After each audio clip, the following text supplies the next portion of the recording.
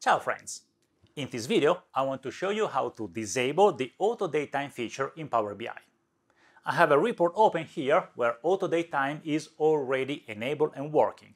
You can see I'm slicing by year, month and quarter, even though in the data model I have nowhere tables that contain date. I only have customer, sales and purchases.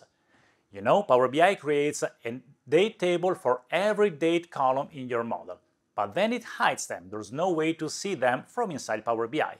But if you use DAX Studio, you can take a look at these dates. I have DAX Studio here. It's enough to connect it to Power BI, to my model Auto Date Time. And uh, you see, this is the list of all the tables that are in the model, and this local date table with uh, UID at the end, they are the automatic, automatically created date table by Power BI. Now, how, how can we get rid of the feature?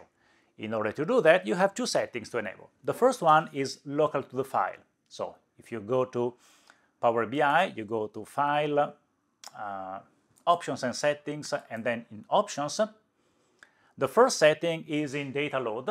In Data Load, you have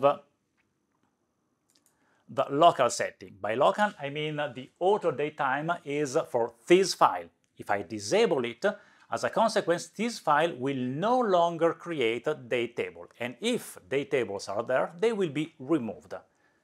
As soon as you do it, click on OK.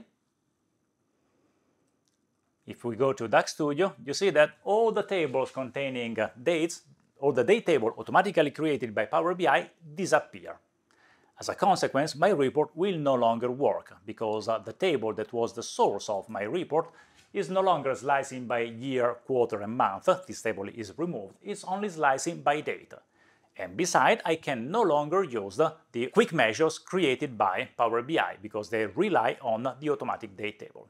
Now, we get rid of auto date time for this file. What if we want to set a global setting so that all the new files will not have the setting enabled by default? There is another option that you need to set. You go to File, Options and Setting, and finally Options and to get rid of the problem once and forever, in the data load you have auto date time for new files. By default it's enabled. If you just uncheck it and then click on OK, nothing will change for this file, but all the new files that will generate will no longer have the auto date time set. At this point, of course, it's up to you to build your date table and write some DAX, but that's a topic for another video. Enjoy DAX!